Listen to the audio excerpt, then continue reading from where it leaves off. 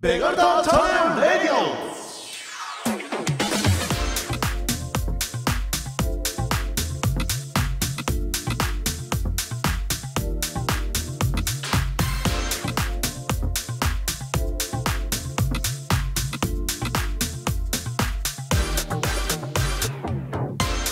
皆さんこんにちは。ベガルタチャンネルレディオナビゲーターの及川明宏です。こちらはベガルタ仙台の選手のインタビューやクラブの情報をラジオ形式で配信していくオフィシャルの音声コンテンツです。さて今回は5月13日に行われましたモンテディオ山形との試合についてお伝えしていきます。それでは始めていきましょう。最後までよろしくお願いします。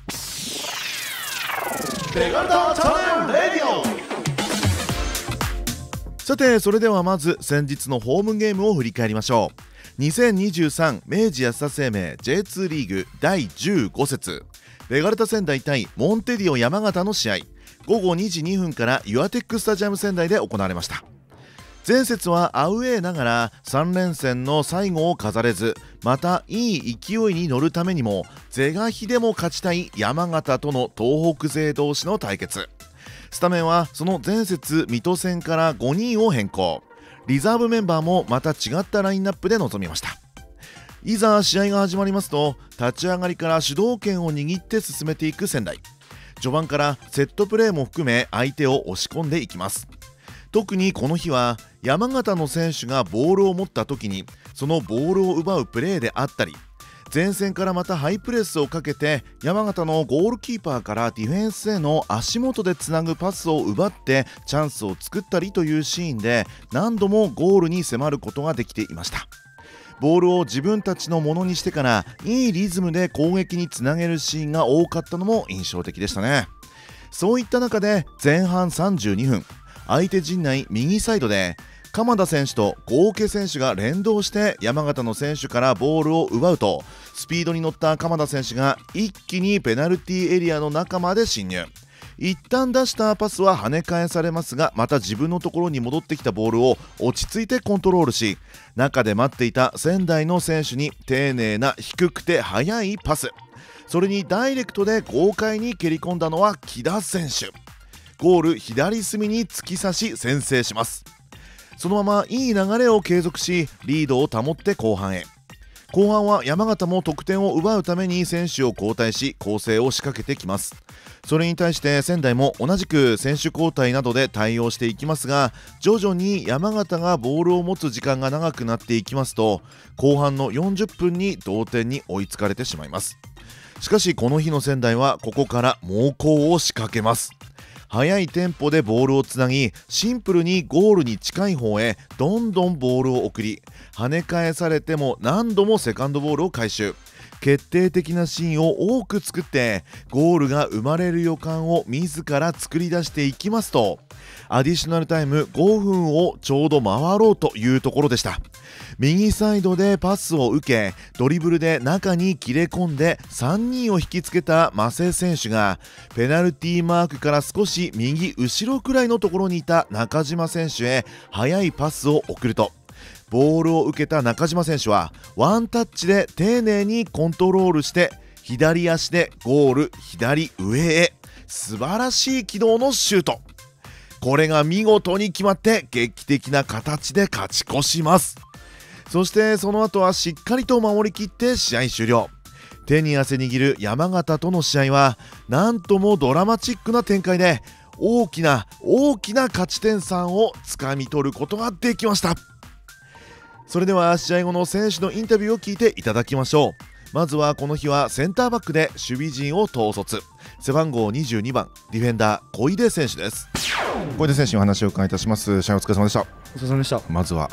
劇的な勝利、えー、勝ちをつかむことができました。試合を振り返ってみていかがでしたでしょうか？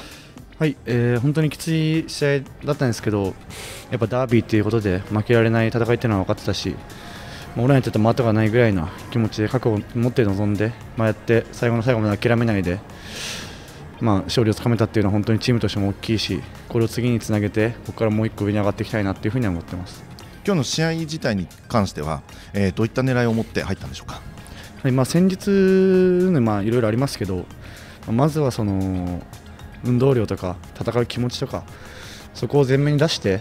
プロに恥じないプレーしようっていうところでチームとして統一感出していきました。なるほど。あの相手もあったかもしれませんけども、そのせいだったのかあのいつもの試合に比べて本当にそのセカンドボールの回収だとかと球際での強さっていうのを非常にこう感じたんですけども、はい、やっぱりそのあたりもキャプテンとしてやってて思いましたか？はい。まあもう自分もそこをむしろ今日の試合そこだけ徹底させたいなっていうぐらいな気持ちで臨んだので、まあ、もちろん失点シーンの前とかは、まあ、少し緩さもあったし、まあ、そういうところ改善点はあるんですけど、まあ、いつもだったら引き分けで終わってる試合をあとこうやってもう1回勝ち越すっていうとかとか、まあ、勝ちにつなげるっていうところは、まあ、チームとして一つ成長なのかなと思いますそうですよね、本当にその、まあ、ホーム、それからこう山形との試合という部分を、まあ、差し引いても本当にあの最後の最後で勝ち切ることができたっていうのは本当大きいですよね。大きいと思いますね、はいまあ、次にまた勝利することで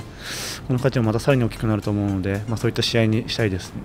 ここからまた3連戦が始まります。アウェーの2戦が続きますけれども、えー、この価値をまたいい勢いにつなげてほしいと思うサポーターが多いと思います。そんなアウェーのところまで応援に行くサポーターも多いと思いますし、うんうんはい、次のホーム戦も含めて、えー、引き続き応援しているサポーターに向けて最後にじゃメッセージください。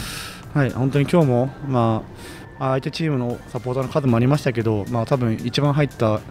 と思うんですよ、今シーズン。そういった 応援を背を背に受けて、まあ、今日も勝ち越すことができたので、まあ、本当、連戦というのは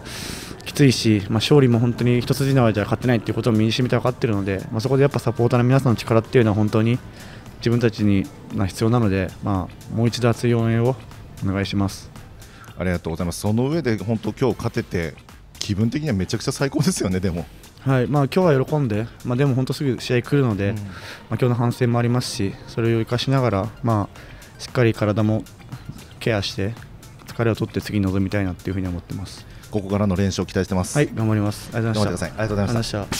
続いて先制点のアシストだけでなく試合を通して攻守に貢献。背番号32番ミッドフィルダー鎌田選手です。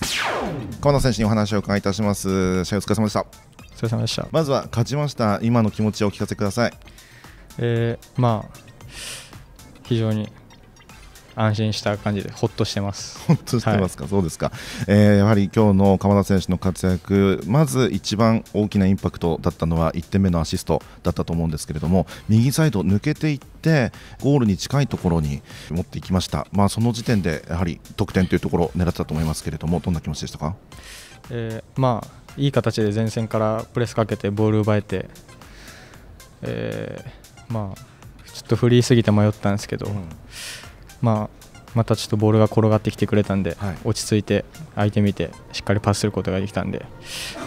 まあ良かったかなと思います。マイナス方向に味方が3人いましたけども、はい、もうそっちの方に蹴ればいけるだろうと。そうですね。もう、まあ、3人いて誰かよく分からなかったんですけど、ええ、まあ優しいパス出せば決めてくれるかなと思ったんで。なるほど、はい、あとは今日は鎌田選手、まあ今日に限らずですけれども、やはり守備が非常によく効いてるなというふうに思いました、はい、あの対人1対1での球際での競り合いだったり、えー、そのボールを奪うというところ、あの今日も非常にいいプレーをよく見せていましたけども、そのあたりもやっぱり意識してましたか？うんまあ今シーズンはまあすごい守備を意識してトレーニングしてきてますし、うんまあ、それが少し試合で目に見えるような形になってきているのはとても嬉しいかなと思ってます。うん、あのエベルトン選手とのそのダブルボランチというところでのそのなんか相性というか連携の良さっていうのも今日非常によく感じたんですけどもご自身としてはいかがですか、えー、まあ水戸戦、まあ、全体的にあんま良くなくて、まあ、ボランチの、まあ、サポートする速さであったり立ち位置を、まあ、この1週間でしっかり修正していろいろ話しながらやってきたんでそこはまあうまくいってよかったなと思ってます。でもうあのスターティングで出るようになってからずっとあのもう連続でえー、そうやってスタメン出場してますけれどもあのかなりもう最後の方なんかは、えー、きつい中で、えー、頑張ってたと思いますがやっぱり試合に出ててどんどんどんどん成長している鎌田選手っていうのを見られる僕らとしてもすごい嬉しいなと思いますがいかがでしょう、えー、まあやっぱ自分みたいな選手はもっと走れるようにならないといけないと思いますし、まあ、絶対ボールも失っちゃいけないと思うんで、まあ、もっとそうですねやれることはあると思うんでそこはしっかり慢心せずやっていきたいなと思ってます。でもボール取られないですよね。いやいや。今日もはい。取られてたんで、そうですか、はい。でそのキープからまたいい縦パス出してまたね何度もチャンス作ってましたんで、はい。えーこれからの試合でもそれがまたゴールにつながるようにというところすごく期待してます。はい、ありがとうございます、はい、サポーターに向けて最後気合いのメッセージいただけますか？まあ、ダービー勝てて、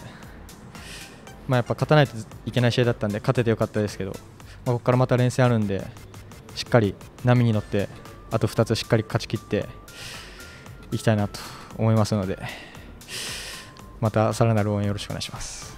理想を言えばもちろん3連勝ではい、ホームにまた帰ってきてくれること、は楽しみにしてます。はい、ありがとうございます。頑張ってください。はい、ありがとうございました。続いては中盤のつなぎ役特に右サイドでチームにいいリズムを生み出すプレーが光っていました。背番号11番ミッドフィルダー合計選手です。合計選手にお話を伺いいたします。試合お疲れ様でした。お疲れ様です。まずは劇的な勝利ということになりました、えー試合を振り返っていただけますでしょうか？そうです、まあ、みんな気合も入ってましたし、えーすごくいい、えー試合の入りができてて、まあ、前半も、えーまあ、ここ数試合とはまた違ったように、まあ、ぐ時間も多かったんで、まあ、すごいいい入りができたんじゃないかなとは思いますけど、えーまあ、逆転勝利は本当喜ばしいことですしここで勢いに乗れば、えーいいことだと思うんですけど、えーやっぱあの試合の締め方っていうところがまだ課題が、え残るので、はい、そこはまあ次の試合もその次の試合もこの3連戦あと2連戦ありますけど、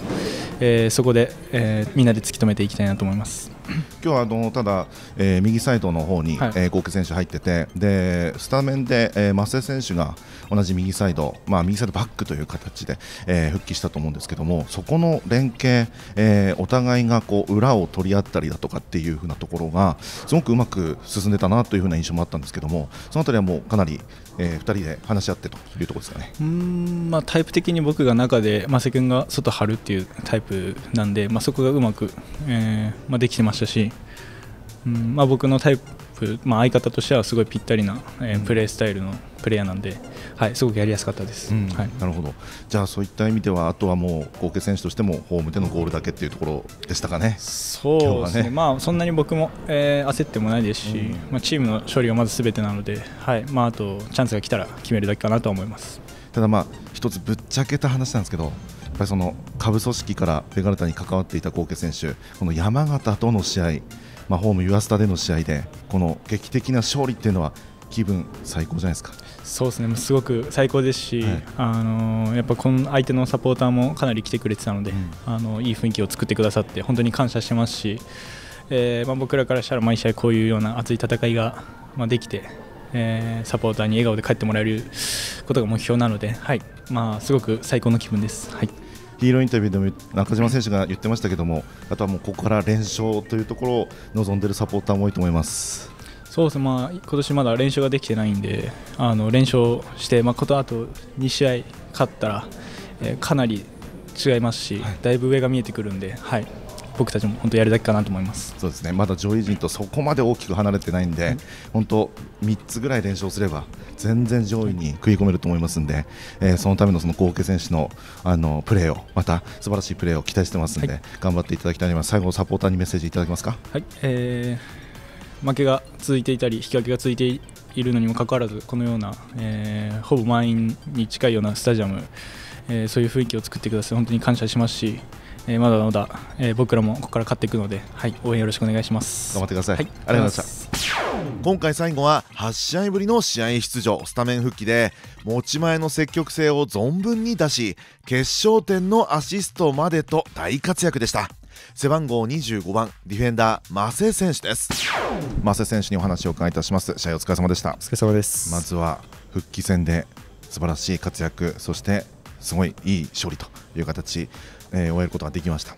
今の気持ちを率直な感想を教えてくださいまあ、素直にこう自分が試合に出てチームも勝勝てたっていうのは嬉しいですけど、まあ、やっぱりまだこう課題もありますしもう一回気を引き締めて戦っていきたいなと思います。本当にあのでも今日は増瀬選手のその復帰を待っていたサポーターすごく多かったと思うんですけどもそのサポーターの期待に応えるようなもう素晴らしい活躍序盤から最後まで見せてくれましたね。そうですね、まあ、まあ守備のところで今日はほぼいや相手に仕事をさせなかったっていうのは自分も手応え感じますし、まあ、攻撃のところでやっぱクロスまではいけてるんですけど、まあ、そこであ味方に合わせてられてるかって言われたらそんなこともなかったんで、まあ、そこの精度っていうのは自分自身課題に感じたのでそこは修正していきながらこうチームにを勢いづけさせるようなプレーっていうのをこれからしていきたいなと感じました。だクロスに関してはもうニアもファーもあとマイナス、まあ、マイナスのクロスが結局最後はあの決勝点につながりましたけども、まあ、そういうのをもちろん状況を見て、えー、こう判断して、えー、出しているというところでしたかね。そうですね。相手の特徴的にマイナスが開くっていうふうに言われてたんで、まあ、マイナス意識してたんですけど、はい、まあ、そんななんか相手もなかったんで まあもうちょい違う工夫してクロス上げればなっていうふうに感じました、うんうん、でもやっぱり右サイドあれだけ深く切り込んででクロス速いのが上がってくるとチャンスは大きく広がるんだなっていうのを改めて思いました今日見てて。まあ、そうですね。自分自身のやっぱりあの積極性っていうのは特徴でもあるので、まあ、まあこれは継続していきたいなというふうに感じますし、まあ、それで得点につなげれるような活躍をしていきたいなって感じます。あと先ほどあの合計選手にも話聞いたんですけども今日右サイドで、えー、コンビを組んだと思うんですがあの非常にプレースタイルがあのやりやすいというふうなことも言ってました。僕から見てもお互いがその裏を取り合うというかどちらかがキープしてどちらかがこう、えー、相手の裏を取ってということでチャンス作っているシーンすごい多かったなと思いましたけども、瀬選手としては。そうですね。やっぱこう右サイド崩していくっていうシーンは結構あったんで、まあ、そこは自分たちも雄太といろいろ話し合ってプレーできているので、まあ、そこは継続しつつ、まあ、もっと精度を高めてこう右サイド仙台の強みにしていけたらなと思います。なんかそういう部分ではもちろん以前もコンビ組んだことあると思うんですけどその以前よりもパワーアップしてたあたりが非常にこう見てて嬉しいなワクワクするなと思いましたそうですねやっぱり自分自身出れてない期間で、はい、こういろいろ自分について向き合う時間っていうのもありましたし、うん、こう悔しい思いをしてた中でまあこう自分がやるべきプレーっていうのをこう整理できたのかなっていうふうに感じてるので、まあ、この出れてなかった期間っていうのは全然自分自身無駄じゃなかったと思いますし、うん、まあ、あの経験があったからこう良かったって思えるような活躍をしていきたいなと思います。うんそしてもう本当に今日はあれだけのサポーター、まあ、ユアスタ自体の雰囲気ですよね、あの中で本当そのサイドで走っていく増瀬選手、めちゃくちゃ乗ってるなっていう気もしたんですけども、そのあたりも自分でも感じましたか？いやそうですね、もう最初の入場で入った時身震いして、うん、こうやっぱサポーターの皆さんが素晴らしい雰囲気を作ってくれたので。まあ、その雰囲気に自分も気持ちも乗っていけたのかなっていうふうに感じているので、本当にサポーターの皆さんに感謝したいなと思って感じます。うん、はい、でやっぱりここから連勝を期待しているサポーターも多いと思います、であの一緒に配信している富田慎吾クラブコミュニケーターが、まあ今日の試合は最低限と、ここからさらに上に行くためには、もうそのさらに、えー、いい試合にしていかないといけないというふうにも言っておりましたので、はい、まあ、その辺も含めまして、えー、これからの気合の言葉いただけますでしょうか？そうですね。やっぱりまあ今日勝てたのは良かったですけどまあ、この1勝で満足しているようなチームではないと思うので、うん、これからこう今まで苦しんだ分こう連勝を重ねていってどんどん勝ち点を積み上げていかないといけないので、まあ、もう1回チームとしてしてこう引き締めてこう次の試合この3連戦しっかり3連勝して、えー、終えるような準備をしていきたいと思うので、まあ、期待していてほしいです。また得点にどんどん絡んでいく松瀬選手のプレー期待してます本当に。ありがとうございます。頑張ってください。ありがとうございました本当に仙台のサポーターの皆さんにとっては何とも言えないような興奮の瞬間が最後に待っていましたがこのような結末になったのは選手たちも話していた通りそのサポーターの皆さんの力も確実にあったと思います。これで勢いをつけてここから勝ち点を重ね上位進出できますようにチームとともに引き続き戦っていきましょう。またチームを熱くする気持ちのこもった素晴らしい応援よろしくお願いします。ということでここまで5月13日に行われましたモンテディオ山形との試合についてお伝えいたしました。ベガルタチャンネルレディオ。